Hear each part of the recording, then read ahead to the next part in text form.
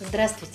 Сегодня в зоне нашего внимания фетр. А фетр – это такой удобный материал, который не нужно обметывать, а это значит, что если у вас есть немножечко времени, вы можете смело работать с фетром и в результате получить готовое изделие. Сегодня мы в гостях у Анны Чигиревой, которая покажет нам некоторые работы из фетра. Здравствуйте, Анна. Здравствуйте. Давно ли вы работаете с фетром?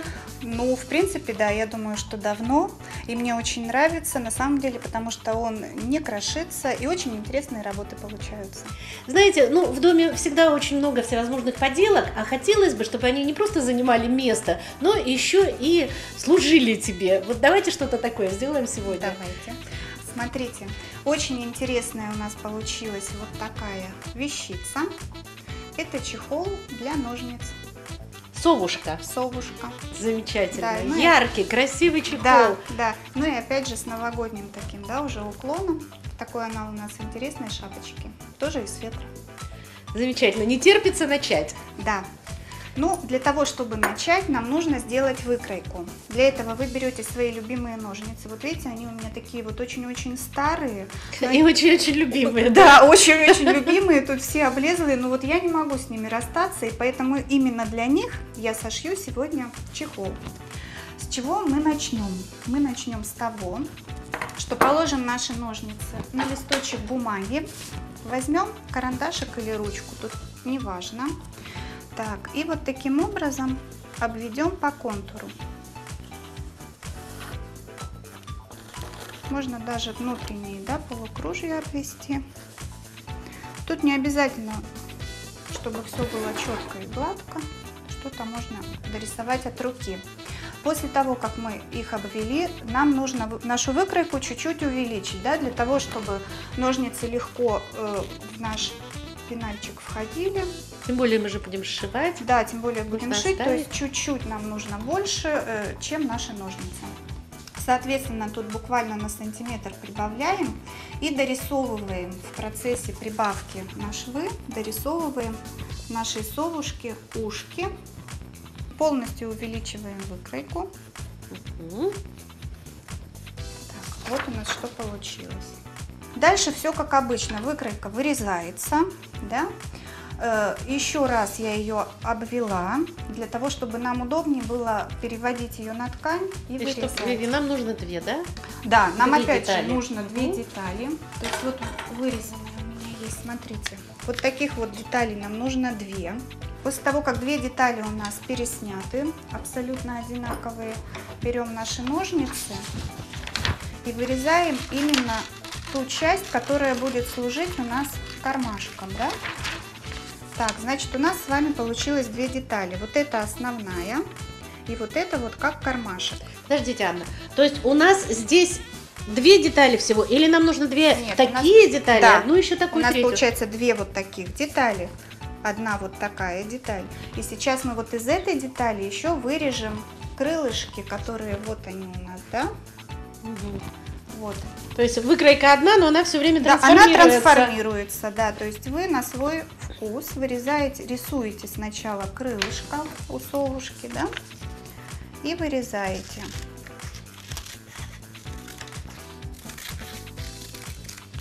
Так, все.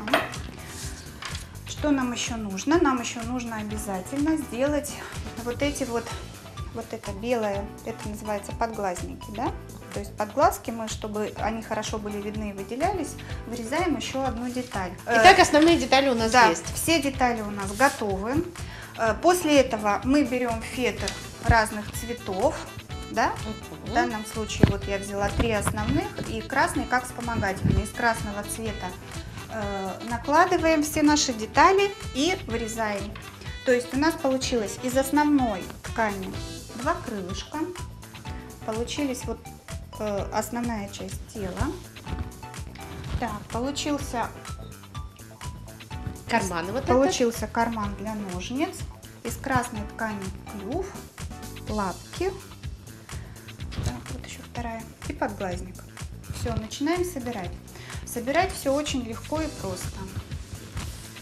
Таки- э, э, швом соединительным, опять же, вы можете взять ниточку на контрасте, можете взять ниточку в тон. здесь у меня чуть-чуть на контрасте нитка взята, да. Мы опять же по кругу Собрали. собрали, прошили. Так, теперь берем клей. А можно, наверное, и все три детали прошить сразу? Или это неудобно? В принципе, можно, но нам сюда еще нужно будет приклеить, либо приклеить, либо пришить крылья. Вот у меня в данном случае они были пришиты, но их можно и приклеить. И приклеить Да, можно. можно все на клей посадить. Не забываем, что нам, Ах, нужно- нам нужно вклеить еще да, лапки. между, между нашими детальками мы вклеим лапки.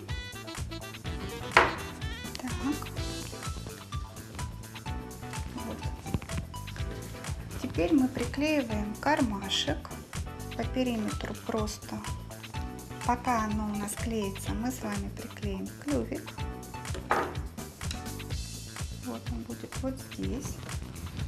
Место для глазок.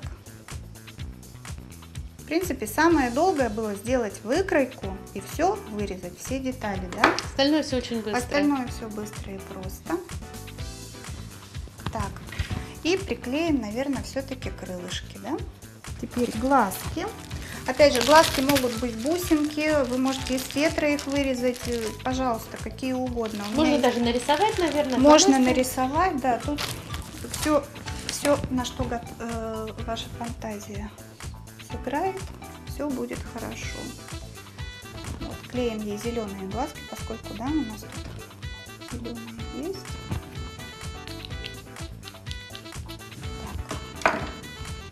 И при желании можно из фетра вырезать, а у меня есть готовая шапочка, которую я тоже приклею ей Тоже приклеим.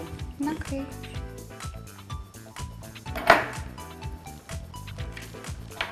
Вот таким образом. Так. Ну и вот, наша совушка готова. Спасибо огромное, Анна. Необыкновенно позитивная сова получилась. И такое же позитивное настроение у нас сегодня в процессе вот этой нашей работы родилось. Будем его хранить и дальше, и творить.